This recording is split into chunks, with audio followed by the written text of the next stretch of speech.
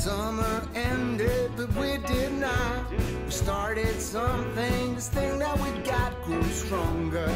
Each day, we're together.